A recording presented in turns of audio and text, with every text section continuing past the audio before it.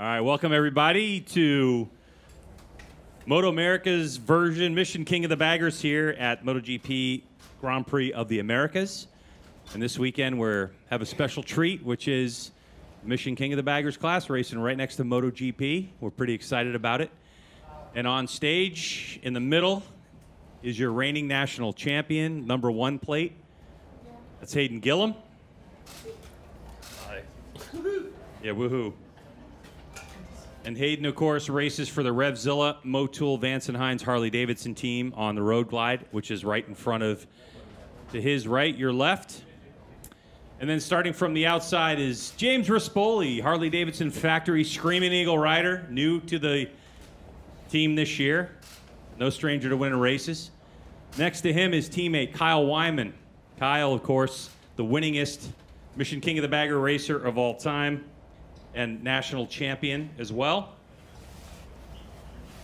And then we have Tyler O'Hara, another national champion, Indian Motorcycles. That's the SNS bike, multiple time winner. And then at the end over there, we have rookie to the class, we could say, Troy Herfoss, three time national champ for Superbikes in Australia. Welcome, gentlemen. Good to have you all here. Hayden, let's start with you. Quick question, the obvious question. How excited are you to be here at Circuit of the Americas racing these motorcycles alongside MotoGP? I'm uh, I'm I'm really excited about it. It's going to be a lot of fun. I'm I'm ready to put on a really good show for everybody and show show the world what these things can do around this racetrack. I'm especially excited about coming here whenever it's not 105 degrees. So it's uh, yeah, it's going to be a fun weekend. I think we're going to be able to have some really good races. If if Dana, Daytona shows anything, it's it's going to be a dogfight. Well, speaking of Daytona, this track is only, I don't know, about a tenth of a mile shorter than that track, but significantly different.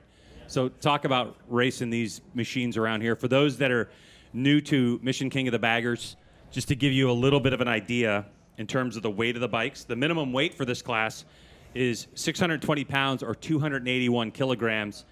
A MotoGP bike is 350 pounds minimum weight or 160 kilograms. Moto America Superbike's just a little bit more than that at 370 and a half pounds.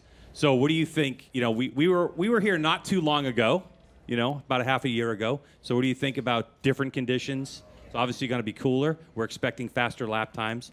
But describe to us riding this motorcycle at Circuit of the Americas.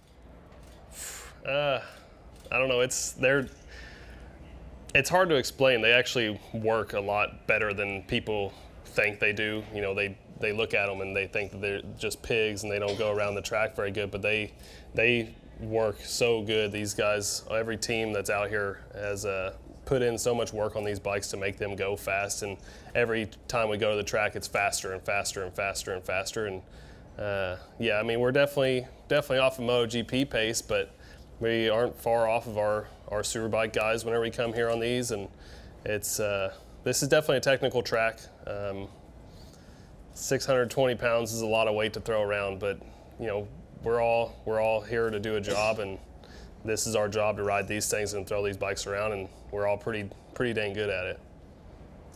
All right, Tyler O'Hara. Next question for you. All right, 2022 champ. Um, let's talk about those lap times. We were at a conversation earlier. What are you expecting in terms of times here? Because you know everybody's going to say, "Oh, let's compare you guys to MotoGP bikes." But what are you expecting in terms of lap times around Circuit of Americas? Well, I believe we'll be faster than we were last year in September. And last year we were right around 215. I think we'll be around 214.15. This is kind of where I'm predicting. This is kind of what we're fixing to do, but we'll see what the track gives us. So probably about five seconds off Superbike and, and uh, maybe seven seconds off Superbike and probably 15 seconds off of uh, MotoGP. It's kind of maybe, we'll see. Now, the first exhibition race was at the end of 2020. And here we are, four short years later, three years later. Did you envision that we could get to this kind of magnitude with this class in such a short period of time? You know, Laguna Seca, we we put on a show and it was nobody really knew what to expect and me and Hayden had a great race and we've been at every race since and the wave just keeps getting bigger and to be here racing with MotoGP, the pinnacle of motorcycle racing, uh, at an American track, racing uh, American motorcycles. It's just uh, so American. I'm just super proud and uh, honored to be here. Yeah, it's a, it's a great opportunity and going to have some fun and we're going to hopefully put on a show and open up the eyes to a brand new audience of people all over the world. Kyle Wyman, currently leading this championship. We've had two races in our opener. And we have 18 races on the schedule for this season. I want to remind everybody that the exhibition race was at the end of 2020. In 2021, we had three races. Kyle was our national champ. Then in 2022, we went to seven races, and last year we had 14. Now we're up to 18. So tell me a little bit about how excited you are to be here this weekend. Yeah, it's an amazing opportunity for the whole series, for Moto America, for you know Harley Davidson, both the manufacturers to be here in front of this audience. And I think uh, you know if if anybody's caught a glimpse of what we've been up to over here the last few years, they they've seen that it's produced some incredible racing, and it's a it's a really great tie to you know the product that we sell here in America. So I think it's just such a good fit, and uh, you know for us to be here is I think it's been a goal for a couple years for a lot of us. It's been talked about quite a bit, but to make it happen and for also to see MotoGP and Dorna embrace us so well and, and help promote that we're going to be here is a huge deal. And I think that speaks to what we've done and the, the importance of it in motorcycling. So, you know, I'm just really appreciative for, for that vision they have to kind of bring this into the fold and help us with the you know the exposure and the coverage of it. So, um, yeah, from here it's I think you know there's a lot of really amazing things that could come out of this weekend. So you know, but now we're here, we can finally go to work, go racing, have some fun. How personal is this for you? Harley Davidson dealership and the family, but in terms of this Mission King of the Baggers program, you've been in with Harley Davidson since day one. A lot of the development of the motorcycle is coming out of your right wrist and your butt. So, how personal is this for you? I mean, it's very personal. Yeah, like you said, my family, you know, Harley Davidson dealership since 1962, and uh, you know, grew up racing flat track. Went into road racing. When I went road racing, obviously I raced all brands but Harleys, uh, except for that XR 1200 series that we had for those few years. But you know, racing BMWs and Ducatis and, and Yamahas, and thinking that my my Harley Davidson days of racing were over. Um, but you know, here comes this this King of the Baggers Championship. Really, just brought me right back into the fold and gave me the opportunity to be a part of it from day one as their first rider in the factory team. And it's grown so much from such a small program, like literally three, four of us, kind of in the corner at Harley, just you know, hoping we can do something cool to to now what it's become. And um, yeah, it's very personal, very personal for sure. All right, over to Troy. Well, I mean, what can we say? You stormed onto the scene in Daytona. Unbelievable finishes, close, obviously great battles. What's it like racing Mission King of the Baggers? It's an experience, I can tell you. It's, it was a real baptism of fire racing with these guys at Daytona. It was everything from terrifying to exciting. Um, something I'll never forget, to be honest. I'm really, really fortunate for the for the opportunity that Indian have given me to come here and do this. I did not expect to be sitting here at MotoGP in COTA um, this year.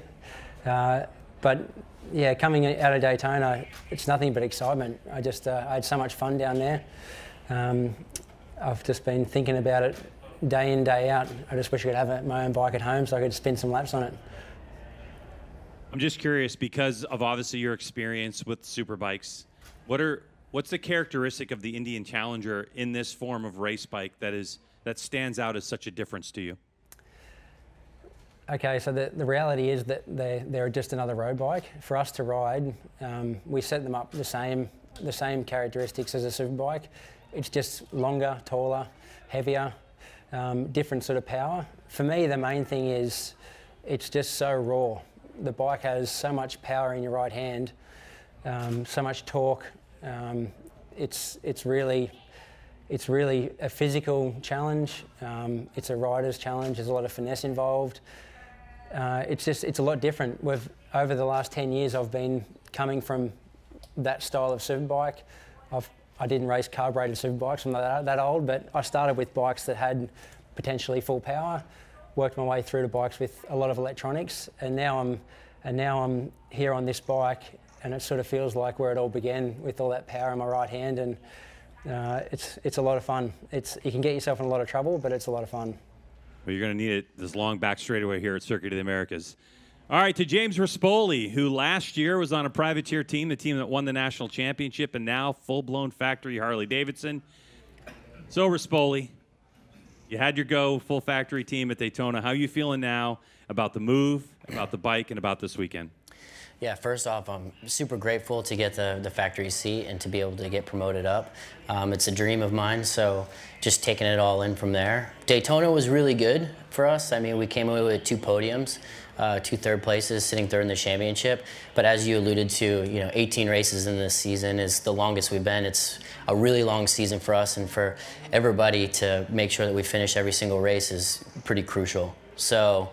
Um, I'm feeling really good. I'm very excited. If anybody watched the races last year, they were quite exciting. Uh, the racing is so raw in this class still that I think it's uh, it creates a lot of close racing and a lot of great racing. So, man, I'm just I'm excited to be here. Excited to be along MotoGP, and I think, uh, yeah, it's just it's really really cool, and I'm excited to get to FP1.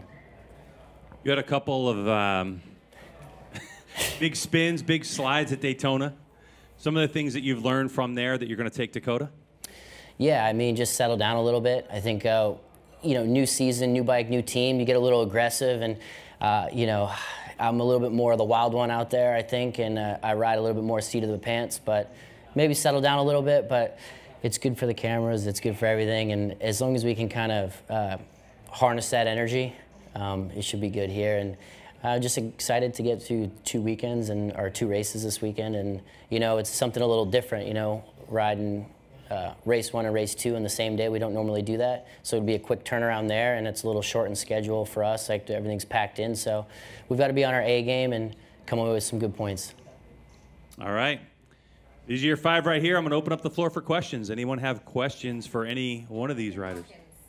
Hi, uh, it's Jonathan Hawkins here from CNN. Um, couple of questions, actually. Firstly, um, what do you think this series can teach MotoGP in terms of fan experience and, and uh, all of that kind of thing? Well, now you're side by side here at COTA. Um, I think that um, it's a little bit tricky because you know MotoGP is not a production-based race series, right? So you know all those classes are on prototype chassis, prototype engines for the most part. And um, you know, this is obviously th- these motorcycles started as road-going bikes and, and get heavily modified the same way a superbike does. I think um, it's a little bit of a different flavor of racing, but I think that you know the lesson in it is that you know if you can engage the wider public of motorcyclists, you can really get something going. And I think uh, you know racing fans are you know motorcycle racing fans are, are still a small segment of motorcyclists. I think what King of the Baggers has done is is taking a greater chunk of motorcyclists and interest them in, in racing that maybe never even watched racing of any kind in the past. So I don't know what you do with that information, but you know I think that that is the lesson or or the the difference at this point. The, the, the second question I had was, um, what are you most excited about seeing close up in terms of MotoGP, and who are you most excited um, to anyone who wants to answer. I'm a massive Marquez fan, so I'd love to see him return return to his best, and I think this is a good opportunity to do it. So yeah, for me, I'm fortunate to be here to see that live. That'll be exciting.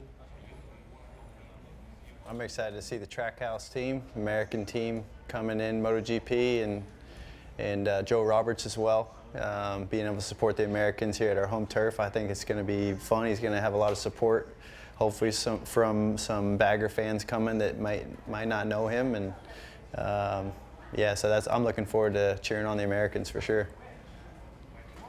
Uh, I got to race with Brad Binder in Rookies Cup, so I've got a little bit of support going his way, and, and I'm a big Miller fan, so it's uh, I'm you know kind of focused on that group there, but it's it's always cool to be a part of the you know a part of it. We've got to a few of us have got to be here for a few different races, so uh, being on a bagger this time around is something cool, and uh, I'm I'm excited to see how the fans you know take us and, and look at these bikes. Uh, I know a lot of people. It's 50-50. You got a lot of people that like them and a lot of people that hate them. So uh, I'm excited to just have a good weekend. You know, the weather's going to be beautiful, and I think uh, just I'm I'm ready to put on a show and, and, and get to see the show that is MotoGP too. Yeah, for me, it's uh, it's Trackhouse as well. You know, it's just a really exciting, you know, venture for these guys to jump in, even before they originally planned to. You know, for them to to have the audacity to you know take that on and and uh, and with all the things they're doing, fortunately, I've been able to go to a few NASCAR races this year, so I've become a lot more of a NASCAR fan. So to see a little bit of Trackhouse and what they do on a on a larger scale. Um, yeah, for them to have a home round for the first time, I think is a big deal. So that's that's what I'm excited about. Yeah, just kind of it's not much, but uh, just to see the entire show on Sunday, right? We race Saturday to see that show, and to really see like all the bagger fans and MotoGP fans all kind of come together and kind of see how that gels, and really to see two really cool projects like come together at the highest level, I think is going to be super cool and super unique.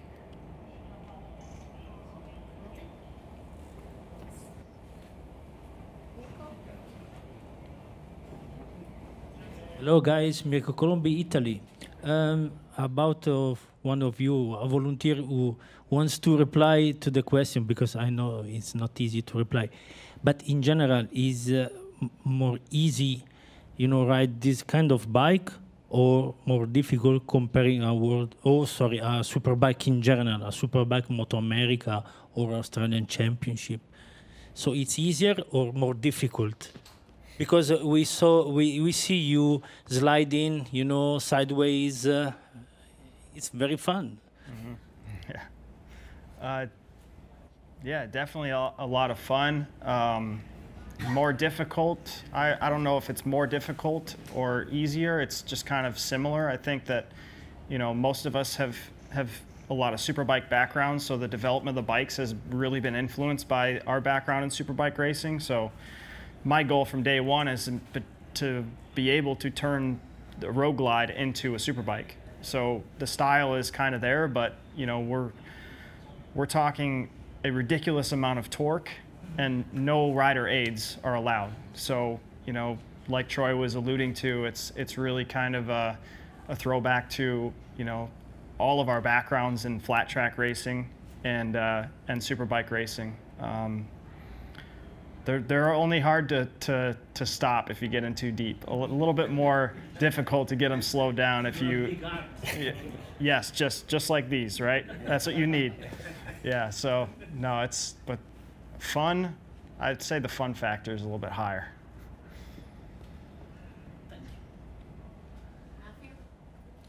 James, can you describe the difference between the experience that you had last year on the Vance and Hines bike and now with the factory squad? Yeah, so I mean, last year I rode for Vance and Hines. They're, you know, no team. They, they know how to build speed and how to build a great program. Um, you know, Terry Vance back in the day had one of the most successful programs you could have in AMA. So they know what they're doing.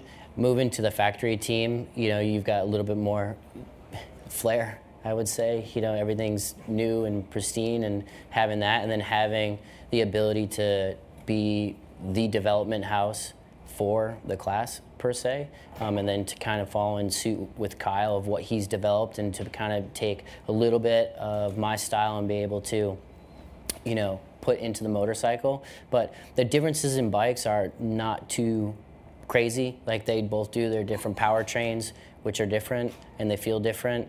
Um, you know, Vance and Hines has produced their own swing arm, so there's little differences between the bikes, but. Um, it's not a crazy amount. I think it's more just team based and how the morale is and how uh, we're able to achieve the same goal. So, um, yeah, I think both teams are really good. Um, and yeah, it's uh, both bikes have, I would say, better and weaker spots. You know, like uh, I think um, it's a it's an interesting question. So. Alan Lane, Sport Bike Sync Magazine. How you doing, fellas? Uh, quick question. The appeal of the class has just really bloomed, blossomed over the last couple of seasons to a, on a global scale. What do you attribute it to? For everybody. I'd, I'd say just because it's so different. Like nobody's, you know, racing's racing. We race whatever we can get our hands on, and uh, but even, you know, this is a stretch for for the racing scene. Like most people wouldn't look at these bikes and be like, "Hey, I'm going to take that to the track." So, uh, what Moto America and Harley and Indian have done is bring something completely off the spectrum to the track, and I think that's I think that's the big thing. And then you know, there's so many people that ride these bikes out on the road. You know, they can really, you know, a super bike isn't that much different from a street bike that you buy off the showroom floor. These are a little different, and I think it's it's cool for people.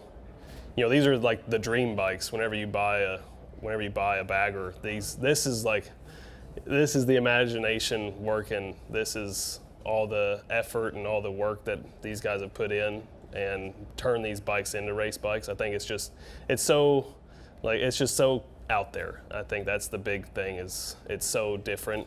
You know, people have seen super bikes for a long time. People have seen even MotoGP for a long time. This is something completely new.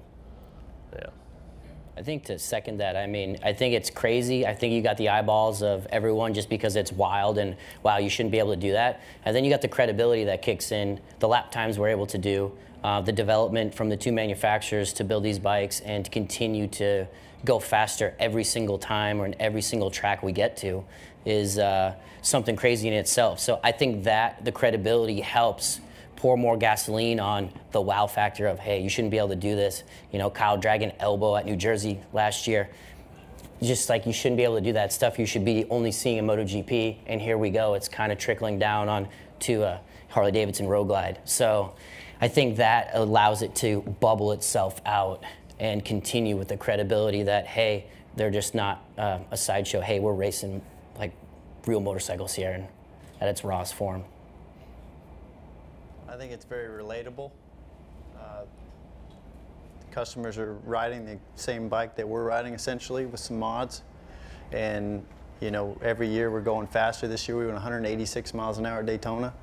I don't, I don't think, I think that's still impressive. Um, and every year we keep going faster. And the sky's the limit and the development with these things and Indian motorcycle, the Indian Challenger is just the ultimate performance bagger, and people can relate. They're riding their bikes to the track, they're having fun. What wins on Sunday sells on Monday, and um, it's like you said, it's wild, it's entertaining, it's really raw. We really got to ride them. Um, without the rider aids, it really you get to see the bikes moving around more and, and it's just kind of a throwback a little bit so you get a little bit more personalities and, and it's, uh, it's entertaining. Yeah, for me, for me coming in from the outside, um, you learn real quick. There's a there's a, a real healthy rivalry there between the two manufacturers, um, but it's it's real. Like there's a real rivalry, something that I've probably haven't experienced before, and I think that that creates excitement. Yeah, like Tyler said, you people can relate to us riding these bikes. There's um, and like Kyle said, there's there's there's a lot of people out there that, that love motorbikes, and and probably more people riding these style of bikes than any other bike, really, uh, especially in this country. So I think it's it's just it's really relatable. There's a really healthy rivalry, and um, and it doesn't. These bikes are making us look good as riders because they they do work better than you think, but the average person probably doesn't believe how good they can handle. So it does look a bit exciting to see a a bagger go around the track like that. So. All right, before we let you guys go, um, quick word. The president of Moto America is here, Wayne Rainey. Good to see you here, Wayne. And uh, real quick question for you. Obviously, on the growth of this class, it's only been a couple years, and now you're looking at it here on center stage with MotoGP, 18 races. What's your view on Mission King of the Baggers, and and uh, from a racing standpoint, and also from the growth standpoint?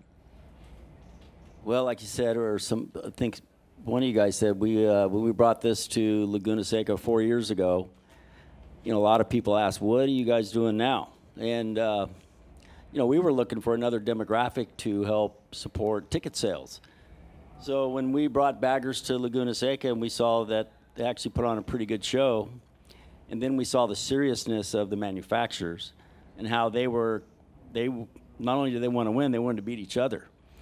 And we were able to create another class that these guys could continue their careers on. Um, it's been a fantastic uh, journey so far.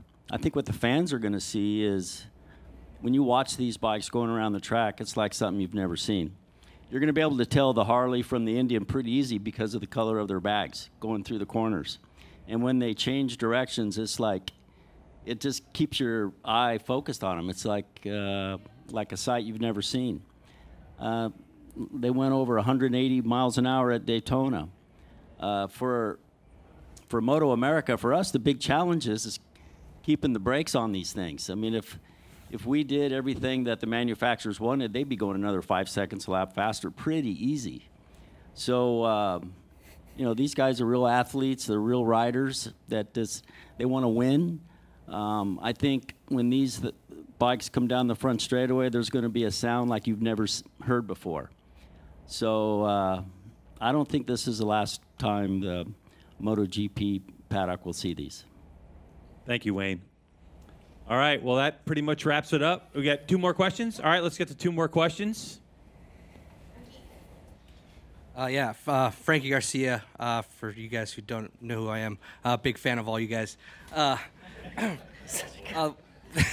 Uh, uh, there's a lot of there's a lot of different reasons why you guys might have some added pressure personally this weekend. I mean, obviously it's the first first weekend we're seeing uh, baggers with with MotoGP. It's something that's been talked about for a really long time.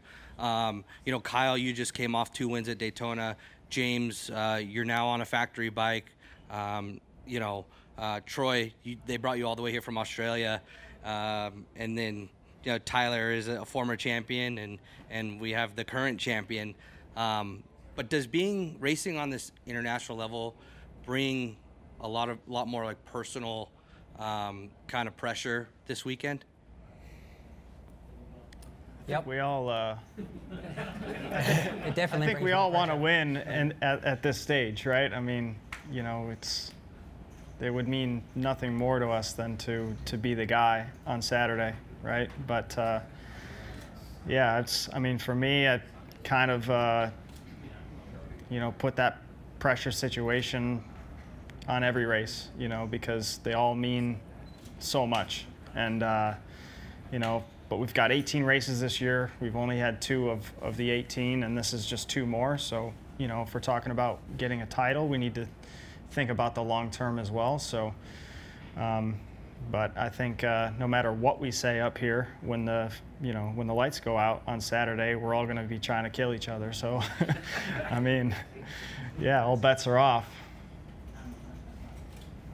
pressure is a privilege. To be here is an honor, and this is what we live for. This is what we've been racing for. To have opportunity to come out here, I'm going to enjoy it, have fun with it. I mean, this is uh, this is what we've been racing for. I think all of us have been racing a long time. I think you know, we in some way we kind of deserve to be here, and, and it's going to be fun, and we're going to put on a good show. And yeah, pressure is a privilege, and to put on a show in front of the the show, it's going to be fun Hey, you guys, I have a quick question. So we talked, we've talked a little bit about top speeds on these bikes and what you guys were achieving at Daytona, 185.5 miles per hour. I mean, that's pretty close to 200 at this point. So like Wayne said, maybe you'll get unleashed and get a little bit more out of that. But one of the things we haven't talked about is obviously these are touring bikes. They have saddlebags on them, real wide fairings. You have to get them kind of high because the engine's pretty wide too.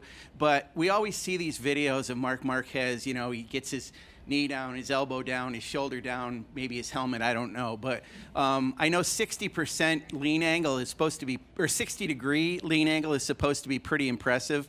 Um, that's kind of a MotoGP level. Um, I'm going to ask Kyle this, and you guys can kind of debate it a little bit or, or give your input. Kyle, what, what kind of lean angles do you guys get on these bikes in the corners? Anywhere near that?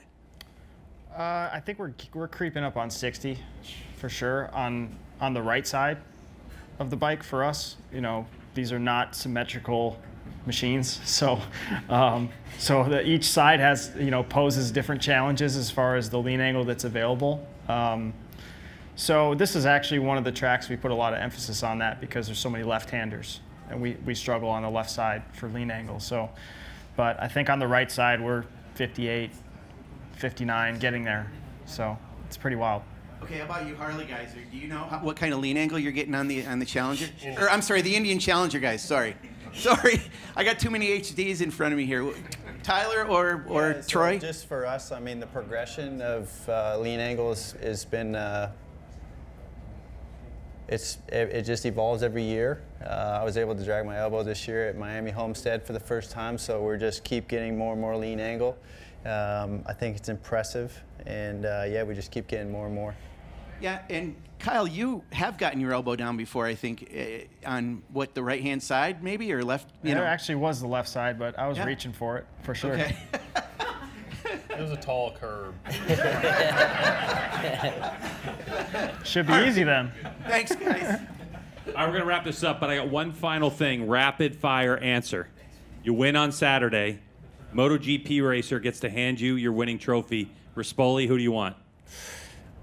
Let's go. Marquez. Kyle. Miller. Hayden. Tyler. Valentino. Valentino. He's not here. Somebody's here. Schwantz. I was gonna say. I Or we know who you we know who you want. wait, we can fly out Aussie make for it. Wayne. Oh boy. Yeah, I'm old school. I'll get, I'll get an old, old I legend. hope you guys start quicker than that. All right. Thanks everyone for coming. We appreciate it. Good luck, all five of you this weekend. We appreciate it. See ya.